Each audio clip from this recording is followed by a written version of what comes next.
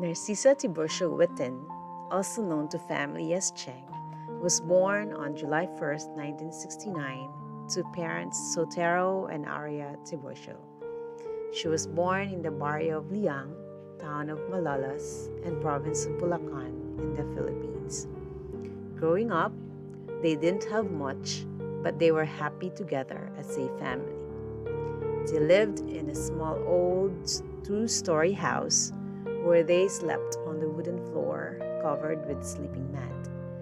As a young child, she was a playful and sweet sister. She is the smart one in the family, graduating with honors in elementary school. The family immigrated to Hawaii in 1983. She attended Castle High School in Kaneohe, Hawaii. After graduating from high school in 1988, she enlisted with the United States Air Force.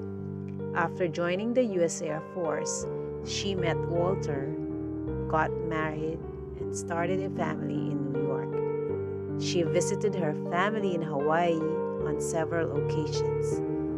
In 2006, she came to Hawaii with the children to celebrate Inang Aria's 86th birthday.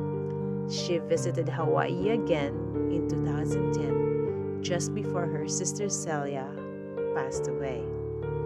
The last time she reunited with a family was in July 2011 in Washington State on Inang Arias' 91st birthday. The family could not get together again before she passed due to the pandemic. The family loves you, baby sister Cheng. We know you are happy now in heaven where there is no more pain and suffering.